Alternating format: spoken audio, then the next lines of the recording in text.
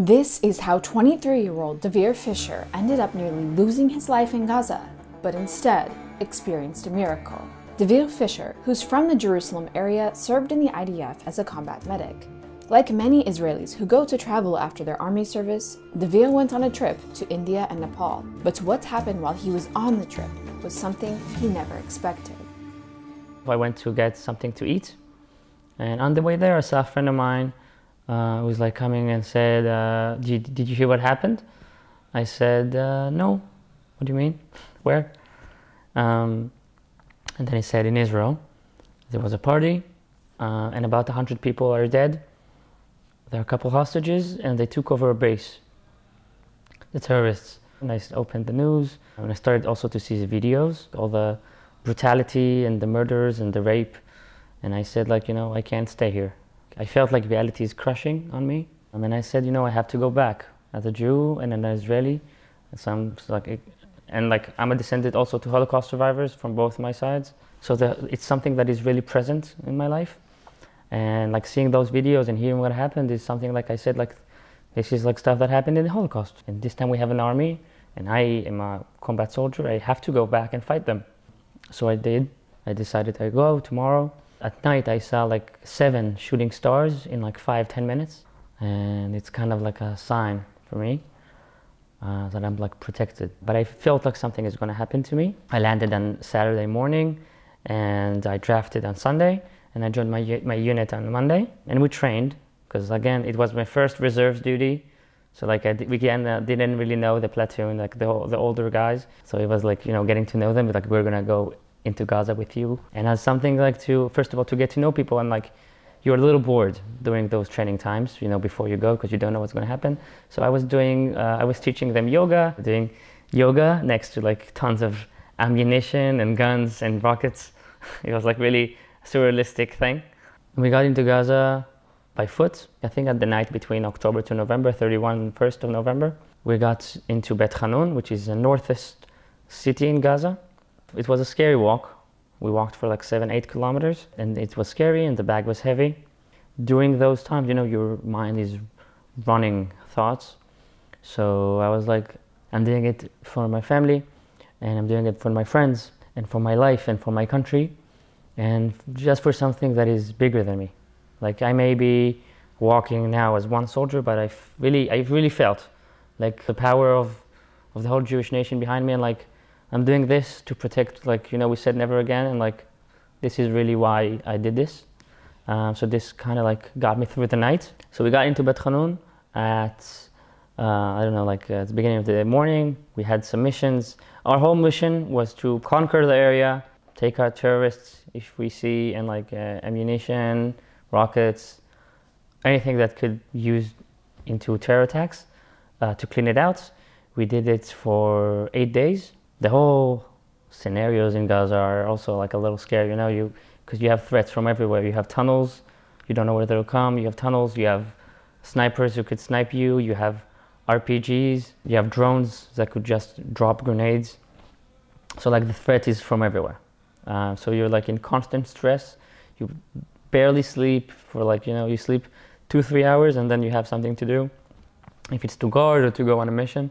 On November 8th, um, we were on our way to an attack on a, on a UN school, UNRWA, which operated as a Hamas base. They were shooting rockets from there and they were hiding ammunition there. So our mission was to uh, take control of this area. Again, because of all the threats, you're not just like, you know, casually walking. So you'll be running from place to place uh, in pairs. We were just moving between two houses with like they look at about like 30 feet of a road, 10 meters, something like that. So we start to run, then we hear tak, tak, tak, tak, like uh, bullets and I really felt the air just like cutting right next to me because the bullet hit the wall next to me.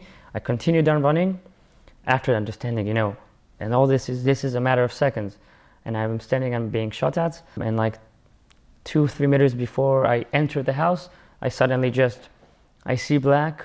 I felt like you know ringing in my eyes and like extreme pain, like stabbing your toe at night. You know that you have something out of nowhere times like a billion.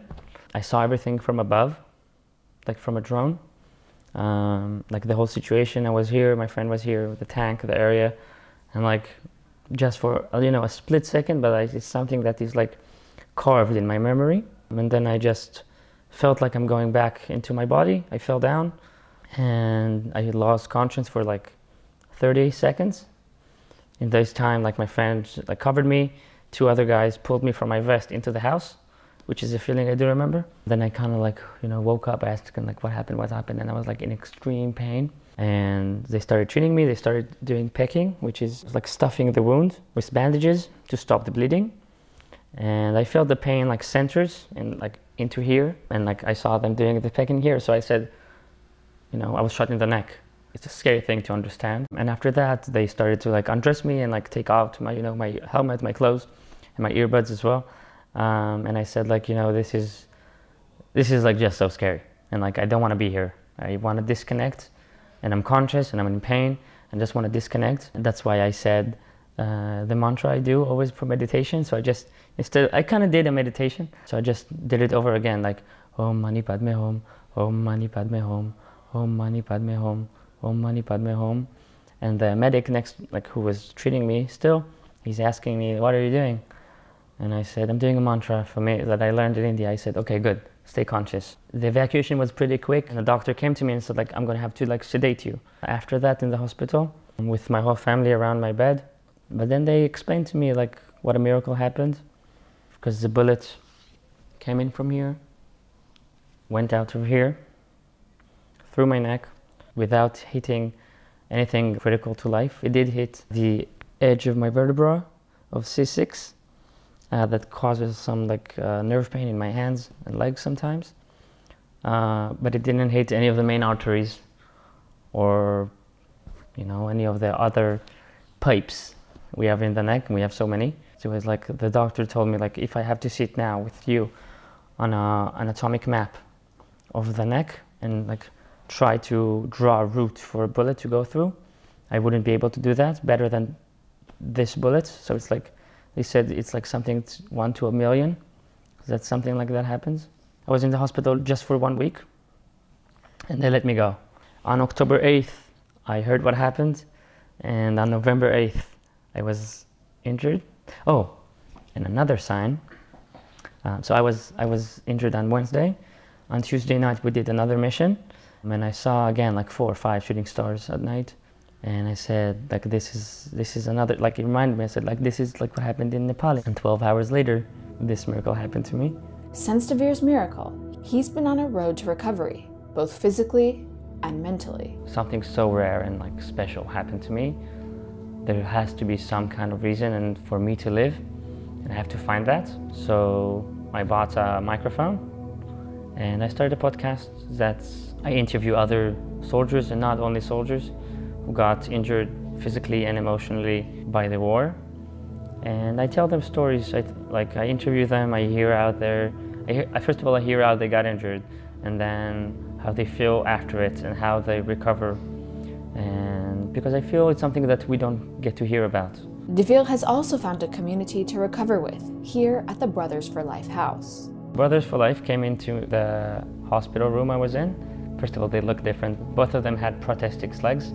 And they said, we're a foundation, we were in your place as well, and we want to invite you into this community and this family. And we want you to know there is a community for people who are just like you, who got injured in combat.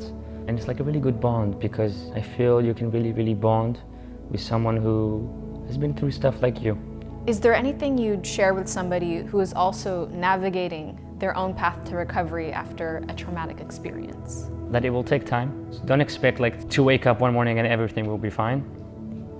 Like I wish, but it's not realistic. So we have to stay patient. But it's something that you'll grow out of and you'll find so much strength within yourself.